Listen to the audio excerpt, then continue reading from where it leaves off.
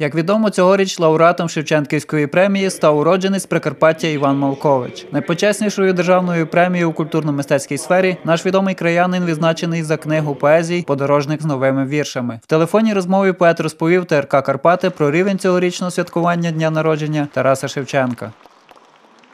Я не можу судити, наскільки гідно вшановують Шевченку пам'ять чи ні. Мені здається, що багато людей, які роблять це гідно по всій Україні, в містах, в селах, роблять хто як може. Інша річ, що держава може робити це краще на державному рівні. От цього року не було святкування в оперному театрі, як це зазвичай буває, в якихось таких великих залах. Але люди роблять і молодь бере в цьому участь. Також Іван Малкович поділився своїми творчими планами на майбутнє.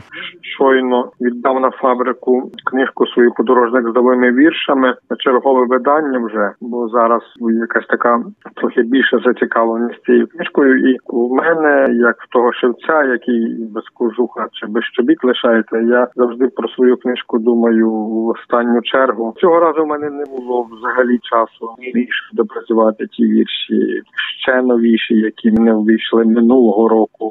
От на свою творчість е, у мене лишається щораз дуже мало часу. Але я сподіваюся, що якось з Божою поміччю надолужу. Ім'я Малковича широкому загалу більш відоме завдяки його видавництву Абаба Галамага. Тепер вся Україна говорить про нього як про поета. Олександр Букатюк, ТРК Карпати.